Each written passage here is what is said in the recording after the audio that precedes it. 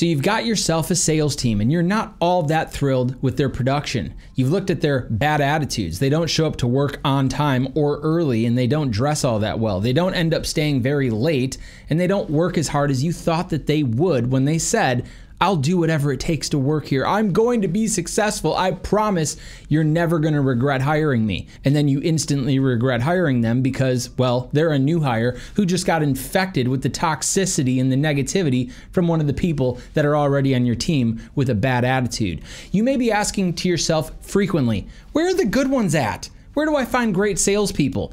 And I am going to answer that for you right now. If you're looking for great salespeople, my first tip for you would be to stop looking for great salespeople. Sure, there's going to be people out there that are successful at other companies making a bunch of money, but that doesn't necessarily mean by any measure that they're going to experience the same success at your organization. After all, you've got different products, different services, different customers, different culture, different energy, different coworkers, different management, and a lot of other variables that are going to impact that person's ability to be successful in where they are at. So, tip number two is take that focus and attention that you have on finding great salespeople and instead put it on finding great people, or at least people that have attributes and characteristics of great people.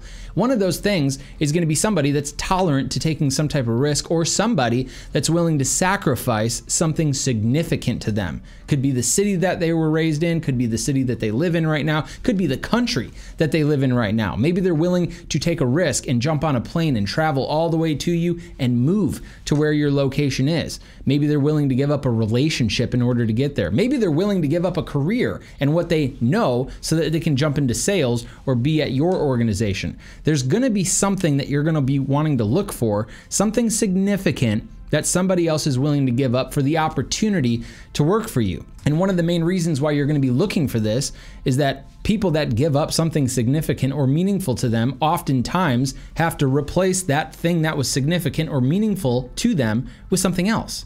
It could be being the top dog at your sales company. It could be making a bunch more money. It could be acquiring or becoming successful. It could be a numerous amount of different things that are important to somebody, but trust me, somebody that's already giving up something to get to the next level is no doubt going to put in the work required to get to that next level and to fill in that void or that gap that they created by coming and working for you. Make sense? Now, the third piece right here is going to be a little bit complex because it has something to do with your internal training processes. Of course, when you onboard a new hire, you have to teach them about the product, the service, pricing, competitors, all the tools and technology in your business, so on and so forth, so that they can actually do their job.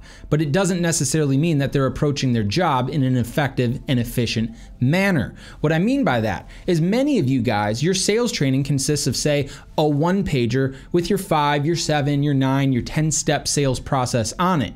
And then you tell your people on that one pager to go home, study it, and then show up to work and then you never really go over it and you never really cover any of the processes within the process.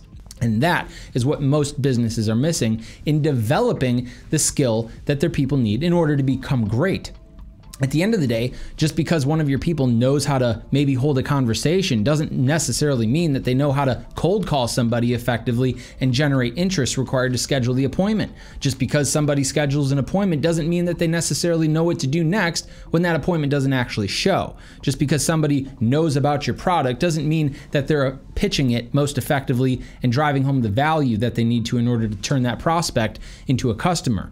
What I'm saying is, you need a bullet point process driven approach to the processes within your sales process. Your people need to know what to do next. If they don't, they're not going to do it very well. Tom Brady doesn't snap the ball and then figure out what he's going to do.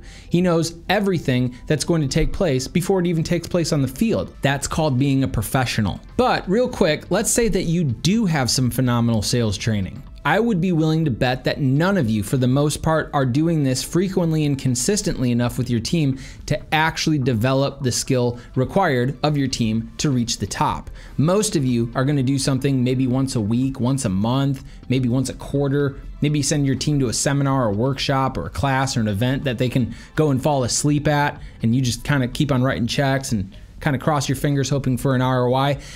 That doesn't work because it's not done every single day. Think about it. It's like getting good at golf. I suck at golf.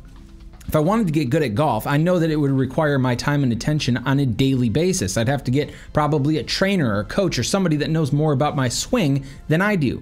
And then, of course, I'd have to show up day in and day out to put in those reps to get that muscle memory and understand how to hit the ball better.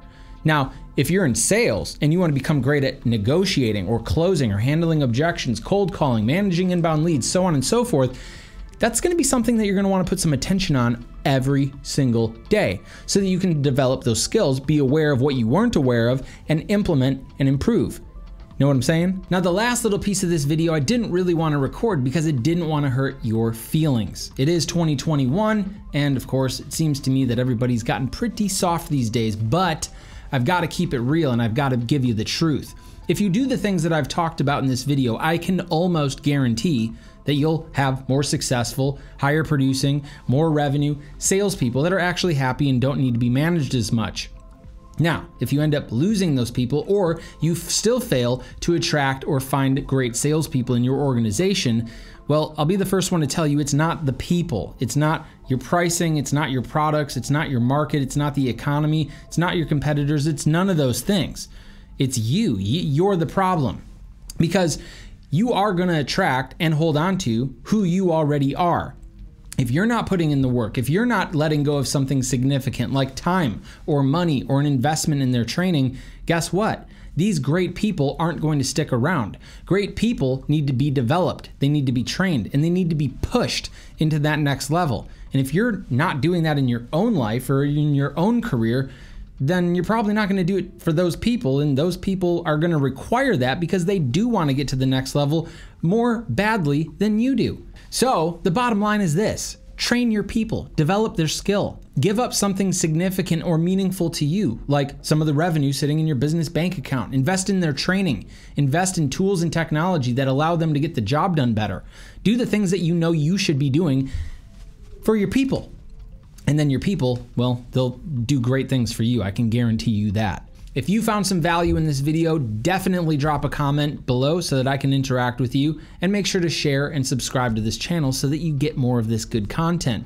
And also, if any one of these little challenges or problems that I mentioned in this video hit a little bit too close to home, hit the link in the description notes below and jump on a call with me. I'd love to help you for free. It's something that I do with hundreds of businesses and something that I do very well. And I would encourage you to do so because I do care about you and I am willing to give up some of my time so that your team can get to that next level.